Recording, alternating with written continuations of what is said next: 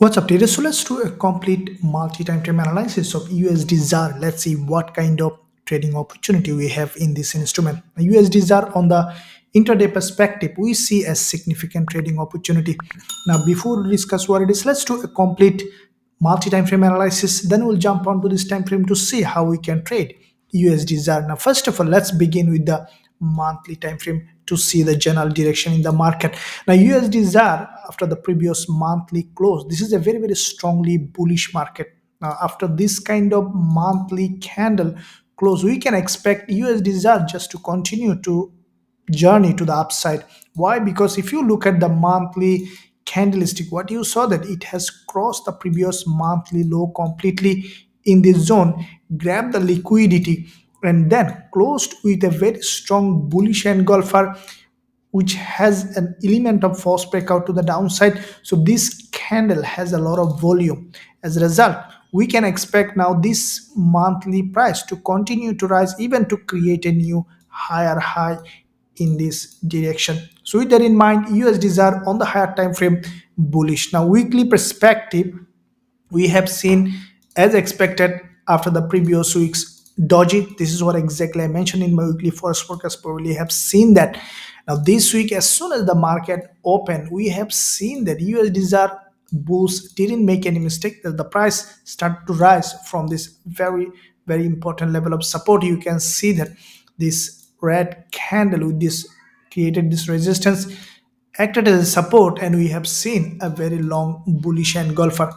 Now usd ZAR created this weekly it's still one day to go this is the last day of trading week then where we can expect now to buy usd ZAR to take this potential move? Now if you look at this red candle top of this candle we could see potential buying opportunity along this zone. Let's draw all this level and to see where we can find a potential buying opportunity on usd ZAR now this is the daily chart. You can see that this is the trend line that if we adjust this trend line with this lower time frame we could see that USD ZAR giving us potentially trading opportunity along this zone from this level or from this level. So it's a on daily time frame as well we have seen there is a liquidity grab on the daily perspective tested this 20 period moving average and then we have seen a bullish move. Now on the intraday perspective now two possible level as you can see on the on this level we are seeing that the, there is a long week candle is being created. But what i think that as today there is nfp coming and we could see a spike down. The reason is you can see when you see a trending market this previous swing high back to back three dojis created this level has not been tested here properly as a support. So this three candle created a combined resistance which has broken with this bullish candle. Now we see consolidation.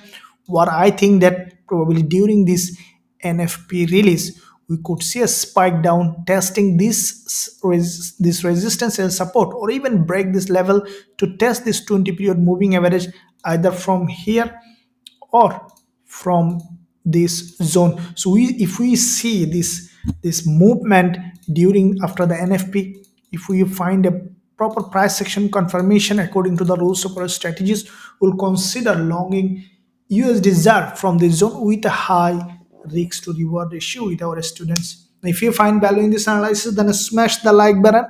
And also don't forget to drop a comment below to have this idea.